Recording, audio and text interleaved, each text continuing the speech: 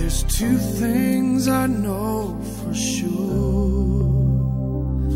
She was sent here from heaven, and she's daddy's little girl.